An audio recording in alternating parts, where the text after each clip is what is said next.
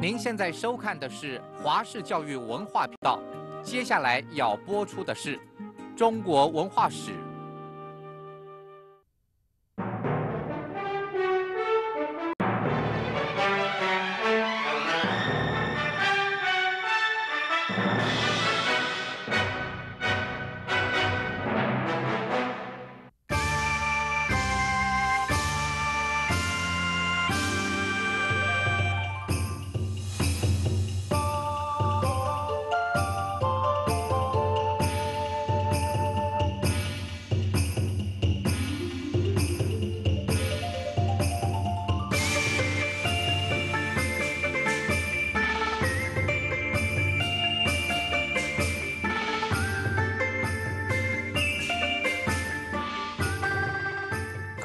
大家好，欢迎收看中国文化史的教学节目。我们今天所要介绍的单元是宋元明清时期的民族并存与汉人之宗族自治。我们首先要谈的是宋元时期的游牧世界与海上的贸易。从北宋开始。东北的契丹、汝真等半农半牧的民族啊，它在兴起之后呢，分别在中国北方与西北方先后建立辽、西夏和金的政权。那么中西陆路关系呢？唐末以期南宋替代汉族与西方往还的，就是北方的契丹族；西北地区则受到西夏人的侵扰。宋代建国之后，辽国呢仍保持对东北的控制。从此之后，宋朝必须承认诸邻邦之间的平等，并支付巨额的金钱啊，作为一种津贴。我们来看一幅北宋时期的地图呢，显然唐朝时期中亚领土呢，到了宋朝全部都丧失了。而且最大的外敌是北方的辽国，而在十二世纪时，金的兴起代替了辽在东北的势力，并驱宋于华北之外。宋撤退至淮河、长江流域，这时形成了宋金对峙的局面。西元一二七九年，南宋据金之后为蒙古人所灭。我们再来看这一幅。南宋时期地图由图面可以看出来，汉人政权的这个领地啊，往南退到长江以南的地区，黄河流域则并入金政权的领土范围。纯由领土面积来看，南宋较诸汉唐帝国已不能算是一个伟大的王朝。两宋时期为应付北境平整的外患。大江南北都出现多样化的习武活动，民间呢广见组织教习武术，因热衷研习武术呢，宋代兵书的著作且达到唐代的六倍之多。无奈两宋终为仍然都被强人所消灭。换句话说。两宋的灭亡啊，是因为北方的胡人政权武力比宋朝更强盛的缘故，而不是宋朝这个文化大国不重视武术以及国防。我们有许多文物都可以印证，在人民的气质上，宋代比元、明清各代甚至都要来的精神抖擞与严整的活力。我们先来由书法艺术啊来看领导社会的文人之气质。画面上第一幅字呢，这是北宋苏轼的《寒食帖》，在字里行间呢，仍然存有盛唐社会就壮阔豪迈的一个雄伟的气质。我们再来看画面上另外第二幅字是元朝赵孟頫《老子道德经卷》。这元代最伟大的书法家的字啊，看来则显得秀柔文雅与轻巧。我们也可以再看画面上另外一幅呢，这个字啊，是明朝董其昌的《周子通书》。这位明代最有名的书法家呢，他的字啊更显得鼓励全无的一个柔弱之美。看过文人精英的文物精神之后呢，我们再来由其他文物比较啊，历代民间的精神啊。我们这里来给各位看几件这个瓷器。第一件呢，我们这里看的这一件哈，这个北宋青瓷水柱哈，这个水柱的话呢，大家可以看一下哈，它的这个口沿流口啊，像剑一样紫色，而它的提把的话，一种非常高耸，这个这个这个高耸非常有精神的抗张力，而且整个壶身的话呢，它的这个一种气一个像气球一样往下压，它往上张，这种充满了一个张力，从流口从。从它的一个球体，从它的这个提把，都可以看出来一个一个一个宋朝的一个精神。我们再来看另外一件哈，这个宋朝的一个永清的这个砚滴，就是写写毛笔字的时候啊，要滴这个水下来磨墨之用砚砚滴哈。这砚滴的话，可以也可以看一下哈，它的一样流口呢，相当的一个像剑一样直射，而且它两个两个提钮也是一样。充满一个一一一个奋张的一个精神啊，就是宋朝的一个精神。那么我我们可以比较一下这个明清的东西。这这里有一件呢，清朝五彩砚滴啊，也是一样写毛笔字用的砚滴。各位看一下它的一个流口，就是嘴的，已经比较比较柔，比较比较弯曲，没有那个宋朝一种抗战精神，而且整个壶身来讲话也没有那种。抗张力存在，这是一个精神上可见北宋的或宋朝精神来讲，它的一个战斗力的精神还是在的哈。所以，我们通过这几件的一个这个文物的一个线条比较的话呢，就可以看出这个宋朝与后代精神的一种一种对比。那么，我们也可以从以上文物的对比中的话，看出一个两宋啊，在强邻压境之下的表现的不弱的民风。但是呢，可惜啊，在面对蒙古族的一个强大的压力下的话呢，仍不免于啊这个灭亡的这种命运。那么蒙古族啊，它是一个游牧的一个民族，在他们进行征服的这个过程中呢，残暴蹂躏，无所不用其极。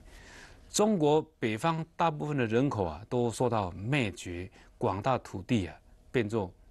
牧场，直到十三世纪中叶的元世祖的时候呢，才开始采取一系列恢复生产的这种措施。也幸好呢，蒙古人呐，在征服南宋之际，已开始认识到啊农业生产的一种价值呢，因此呢，农业重镇的江南汉文化地区啊，才没有受到蒙古人严重的这种破坏。宋代在军事上不敌游牧民族啊，但是在经贸文化上却是个大国，与南洋啊各国关系啊相当的这个密切。宋朝人最重视啊中外的陆上之防，对于海上诸藩呢，则一人唐朝旧惯，维持友好的贸易的往来。宋朝人呢，对海外诸藩呐、诸藩邦优遇有加，藩上也称恭顺，很少有不法越轨之事。中国在宋代实在是一个大的海权国家。在唐代，海上贸易货物大多是由阿拉伯船运往南洋，由高丽船呢运往东北亚。北宋以后呢，则由福建、广东起航的中国的海船呢，定期啊航行东南亚、印度以及波斯湾，从事啊往返的贸易。南宋的海外贸易呢更加兴盛，船舶每年的收入啊，占政府全年税收了达到五分之一之多。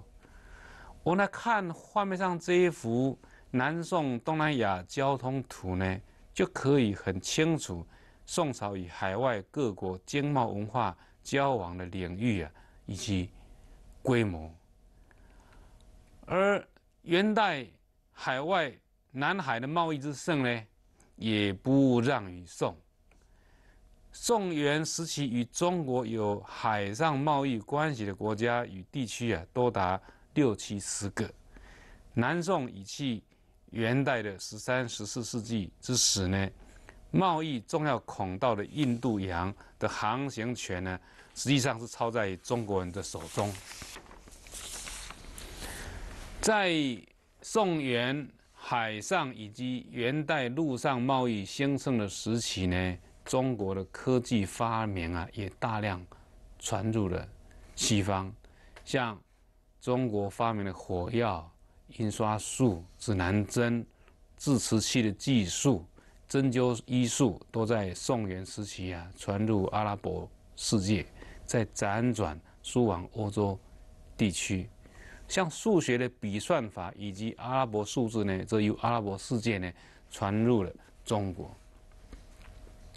接下来要为同学们介绍的是明清时期的民族关系。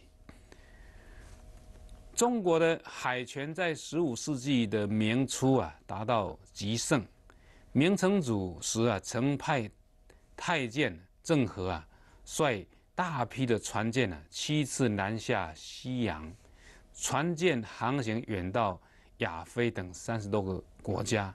扩大了中外经济和文化的交流。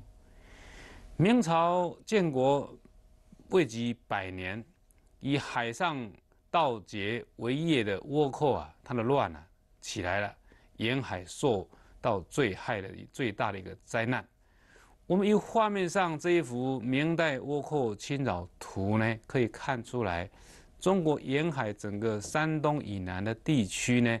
全部受到倭寇的侵扰，由于东南人口精华地区受损呢，最为严最为严重，导致呢千余年来中国是海上互市为利索，自明中叶呢转为货源，中国遂开始认为与外族接触害多于利，甚至有害而无利。明朝中叶以后，中国对外族的敌情意识呢是全方位的。明朝政府不但在北方大举重修扩筑长城，以游牧民族划清界限，海岸线方面也严格执行贸易管制的措施。凡是想要和中国通商的海外各国呢，必须先。自愿呢列为中国的属国，才可以在中国规定的时间前来朝贡兼贸易。其他条件与身份的国家与私人的一概啊，禁止到中国来贸易。明朝这种严格的管制政策呢，使正常贸易沦为走私贸易。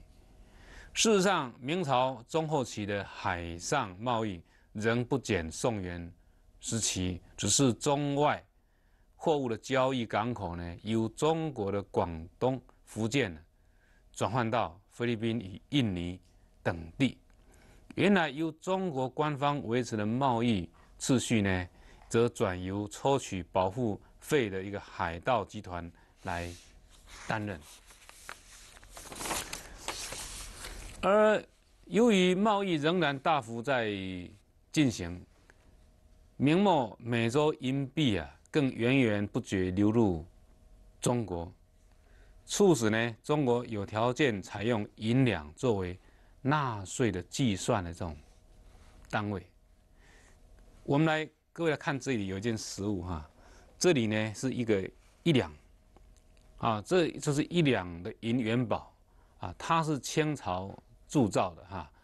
这种元宝呢，在明中以后啊，就在民间普遍呢。被使用，啊，这同学可以看一下，以这个银元宝。那话说回来呢，这个满清入主中原，取代明朝之后，原先呢，东南沿海的商贸性海盗啊，介入了反清的活动，满清因此呢，执行啊，比明朝更严厉的一个海禁，还有迁海令，借以呢肃清。反满清的这种势力，反满清的势力消除之后，明朝的贸易管制措施却仍被满清啊来奉行。直到清末啊，对外战争的连连失败之后，中国啊才被迫啊开广开贸易的这个口岸来从事对外的这个贸易。但是呢，清代对外实际贸易仍然很盛行。我们各位来看，我这手上有一件东西哈，这一件来讲话呢，就是清代广州、广东制造的清西式的青花杯啊，我们称为马克杯哈。那么这个杯子的话，同学也可以看一下哈。他讲话呢，他还有这广东制造的一个一一一一个字眼。那这个来讲话，实际上中国原来古代话呢，除了西北地区的出土之外，出土物之外的话呢，并没有这种类似西洋马克杯的侧把杯的这种。造型的这个文物，所以这个是来讲话呢，是应该说西洋跟中国贸易往来之后的话呢，可能西洋下的订单向中国要求制造了一种一种一一种这个器物哈。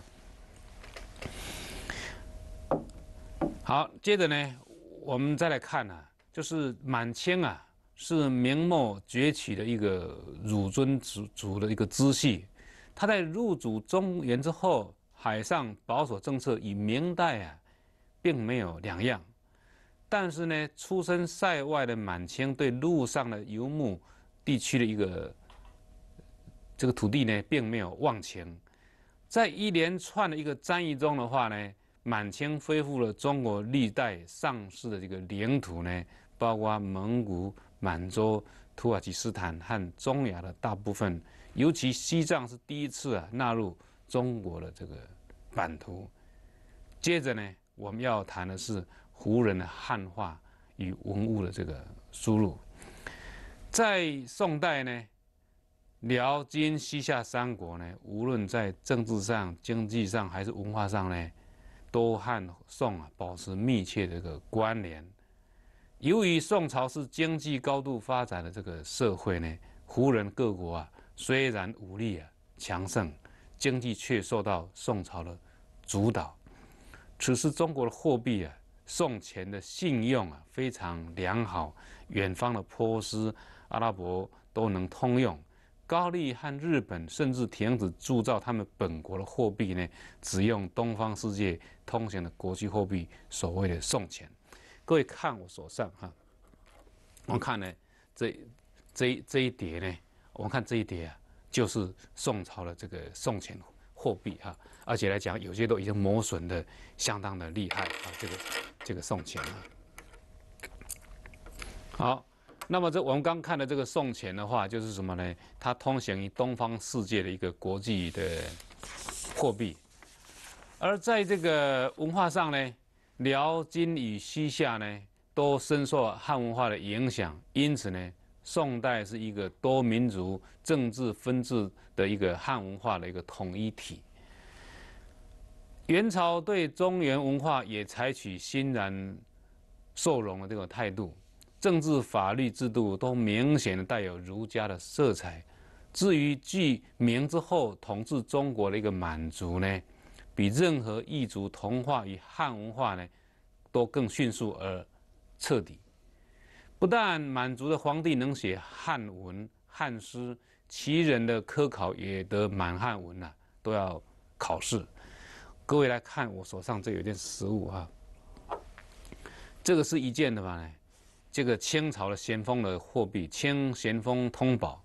各位可以看一下，这边是汉文的咸丰通宝，那背面的话呢，啊，这个是这个我们讲说有这个什么呢？就满文的这个文字啊，在上面。啊，这个是我们讲说这个当百，啊，这个满文啊，这个文字叙述就是满汉通，两边文字都可以都可以在上面所容受。呃，宋元明清将近一千年间呢，中国邻近民族啊进军中原而长期留置者呢，大致都无法回避啊汉化的命运。但是在此同时呢，外族输入的许多文物啊。却也在中国落地生根，成为中国文明的重要组成的成分。像宋代以下一近一千年间呢，中国的农耕区地区啊，不断的来扩大，还与各种早熟、耐饥、高产的这个异域农作物的传入啊，有相当的关联。比如早熟稻、玉米、番薯、马铃薯，先后从东南亚、美洲啊流入中国东南沿海，又渐次啊传播于东北、塞外。四川山地、云贵高原，并在这些广大地区间获得良好的生产效果，从而使农耕区啊向东北、西北还有西南啊来延伸。因此呢，对汉人由人满为患的这个水稻种植区之向外疏散呢，深具意义。至于在居家生活方面呢，宋代人啊推广了五代末期啊来自北方游牧民族的桌椅的这个形式呢，将唐代以前中国人席地而坐的一个起居的方式呢，改为垂足而坐。这种桌椅增进了坐席的一个方便性，成为流行至今的桌椅形式。各位来看。这个图面上有《浮生受经图》，这是中国传统席地而坐的一个情形。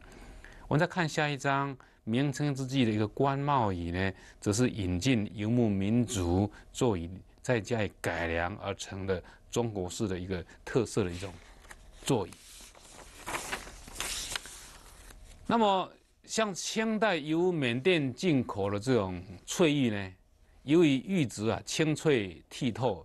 与数千年来由新疆输入的玉材的温润特质啊不同，那新疆玉呢，数千年来啊是广为男士啊所热爱，作为君子的这种象征。后期的缅甸玉呢，则以装饰之美啊广受妇女的热爱。因此呢，缅甸玉的进口呢，是中国的这个好玉风尚呢，由男人的世界啊扩展到了女人的世界。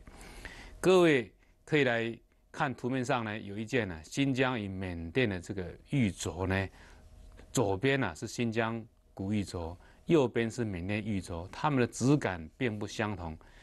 那我们可以也可以来看我手面上哈，这里有一件呢，就是新疆的玉的古玉镯哈，这个上面也是也是陪葬品，而且已经被沁的相当厉害哈，这沁的很厉害。那这个看起来是。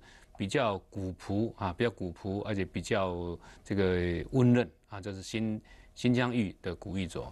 我们再来看另外一件实物啊，这个是这个是缅甸玉的这个古玉镯。这个古玉镯的话呢，它这已经有有有断断裂过啊，用用这个洗焊接过，洗焊断断裂过哈。那么来讲话呢，显然呢，跟这我们会看一下，这跟这个这个另外这件。差距啊，相当的大，所以我讲这个是男士用的多啊，这个是女士啊用的多啊，这个是质感啊各方面都不一样。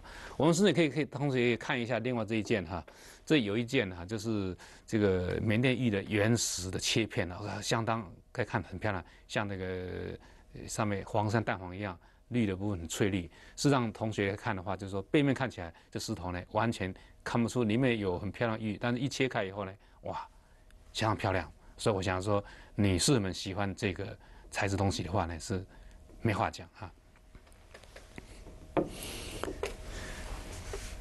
接下来呢，我们要为大家介绍啊，汉族的播迁与海外的这种拓殖。汉民族在公元四八、十二世纪呢，分别遭受到胡人的侵扰的一个严重战乱，像西晋永嘉之乱、唐安史之乱、北宋建康之乱。因此呢，汉族的生活重心呢，逐渐由黄河流域向南移至长江流域，进而移至东南沿海。宋元时代是东南沿海啊最繁盛的时期，但是这个地区的土地开发与人口增长也随之达到饱和，于是当地人口在明清两代又开始啊大量来外移。我们可以来看这一张汉唐明。东南人口的地图，就可以比较出中国人口啊，逐渐啊往东南沿海扩充发展的一种情形。东南沿海汉人大量外移，始于明朝中叶之后，当地汉人或往海外啊贸易移植，或往内陆啊山区啊来流徙开发。这个折返内陆，拓殖的一个新的这种趋势呢，在清代普遍可见于从华北以去华南人口密集的东部各省区。而经由荒地的这个开拓呢，内陆耕地大为增加。从明末到清末的鸦片战争发生了两百年间，中国的耕地啊扩张了一倍，中国人口更增加了两。